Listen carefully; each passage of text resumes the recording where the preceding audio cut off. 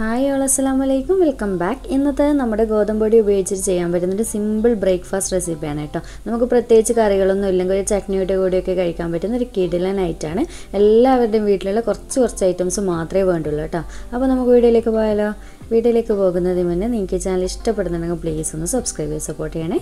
Subscribe ചെയ്യുമ്പോൾ അതിന് തൊട്ടടുത്ത് കാണുന്ന കുഞ്ഞു ബെല്ലൈക്കുള്ള ഓൾ എന്ന ഓപ്ഷൻ തന്നെ ക്ലിക്ക് ചെയ്യണേ.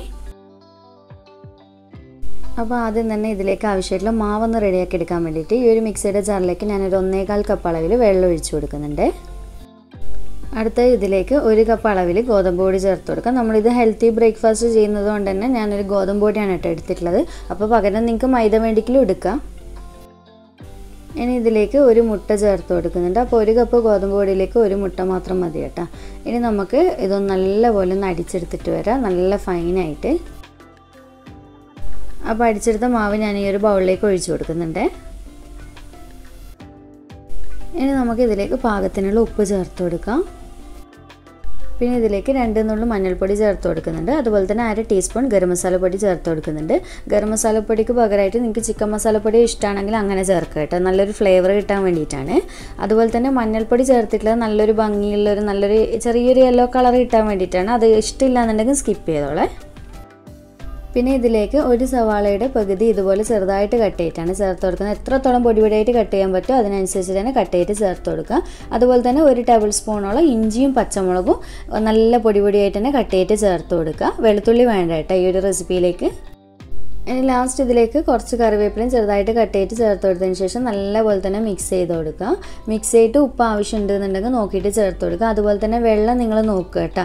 ഓവർ ടൈറ്റായിട്ട് മാവ് ഉണ്ടാക്കാൻ പാടില്ല. കുറച്ച് ലൂസിലാണ് മാവ് ഇരിക്കേണ്ടത്. അതുപോലെ തന്നെ ചില പൊടിക്ക് അനുസരിച്ചിട്ട് വെള്ളത്തിന്റെ അളവിൽ ചെറിയ ചെറിയ വ്യത്യാസങ്ങൾ വരുവേ. അപ്പോൾ ഇത് ഈ ഒരു ലൂസിലാണേ വേണ്ടത് ഇനി നമുക്കിതെങ്ങനെ ചുട്ടെടുക്കുന്നതെന്ന് നോക്കാം. അപ്പോൾ ദോശ ചുട്ടെടുക്കാനായിട്ട് ഇപ്പോഴത്തെ പാന് നല്ലപോലെ ചൂടായതിന് ശേഷം ഞാൻ ഇതിലേക്ക് മാവ് ഒഴിച്ചു കൊടുക്കുന്നുണ്ട്. അപ്പോൾ മാവ് ഒഴിച്ചു കൊടുത്തിട്ട് ഇതുപോലെ ചുറ്റിച്ചെടുത്താൽ മതി കേട്ടോ. പാൻ വെച്ചിട്ട് തന്നെ നിങ്ങൾ സ്പൂണ് കൊണ്ട് ചുറ്റിച്ചെടുക്കാൻ വേണ്ടി ശ്രമിച്ചു കഴിഞ്ഞാൽ പറ്റില്ല. മുറിഞ്ഞു പോകാൻ ചിലപ്പം ചാൻസ് ഉണ്ട്. അപ്പോൾ ഇതുപോലെ ചുറ്റിച്ചെടുക്കുക. എന്നിട്ട് മുകൾ ഭാഗം നല്ലപോലെ ആറി വരണം. എന്നാലും മാത്രം തിരിച്ചിട്ട് കൊടുക്കുക. അപ്പോൾ ഇതിന്റെ മുകളിലായിട്ട് കുറച്ച് നെയ്യ് ഇതുപോലെ ഒന്ന് തടവി കൊടുത്താൽ നല്ലതായിരിക്കും കേട്ടോ. നെയ്യ് ഇഷ്ടമില്ല എന്നുണ്ടെങ്കിൽ കുറച്ച് ഓയിലാക്കി കൊടുത്തു കഴിഞ്ഞാൽ നല്ലതായിരിക്കും. ഇപ്പോൾ നിങ്ങൾക്ക് കാണുമ്പോൾ മനസ്സിലാകുന്നുണ്ടാവും മുകൾ ഭാഗം നല്ലപോലെ ആറി വന്നിട്ടുണ്ട്. ആ വെള്ള കളറൊക്കെ മാറി വന്നിട്ടുണ്ട്. ഇനി നമുക്കിത് പെട്ടെന്ന് തന്നെ തിരിച്ചിട്ട് കൊടുക്കാം. ആ ഒരു സൈഡും കുറച്ച് നല്ലപോലെ ഒന്ന് മൊഴിഞ്ഞ് വന്നതിന് ശേഷം നമുക്കിത് കോരിയെടുക്കാം. ഇത്രയേ ഉള്ളൂ. സിമ്പിളല്ല ചെയ്യാനായിട്ട്? അപ്പോൾ നമുക്ക് ബാക്കിയുള്ളത് മുഴുവനായിട്ട് ഇതുപോലെ തന്നെ ചുട്ടെടുക്കാം. അപ്പോൾ ഞാൻ അടുത്ത ദോശ ഇതുപോലെ ചുട്ടെടുക്കുന്നുണ്ട്. അതുപോലെ തന്നെ മാവ് ഒഴിച്ചു കൊടുക്കുമ്പോൾ ഓരോന്നോരോന്ന് ചുട്ടെടുക്കുമ്പോൾ നല്ലപോലെ മാവ് ഇളക്കി ഇളക്കി കോരിയെടുക്കാൻ വേണ്ടി പ്രത്യേകം ശ്രദ്ധിക്കുക കേട്ടോ. എങ്കിൽ സവാളയും നമ്മൾ ചേർത്തിട്ടുള്ള ഇഞ്ചി പച്ചമുളകൊക്കെ എല്ലാ ദോശയിലും എല്ലാ സൈഡിലായിട്ട് നിന്നോളും.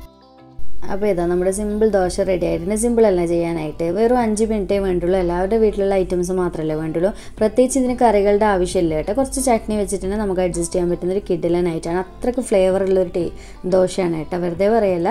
അപ്പോൾ ട്രൈ ചെയ്തിട്ട് ഫീഡ്ബാക്ക് അറിയിക്കാനുള്ള കാര്യം മറക്കല്ല. അതുപോലെ തന്നെ ചാനൽ ഇതുവരെ സബ്സ്ക്രൈബ് ചെയ്തിട്ടില്ലെങ്കിൽ പ്ലീസ് ഒന്ന് സബ്സ്ക്രൈബ് ചെയ്ത് സപ്പോർട്ട് ചെയ്യണേ. അപ്പോൾ വീണ്ടും ഒരു അടിപൊളി വീഡിയോ ആയിട്ട് കാണാം. താങ്ക്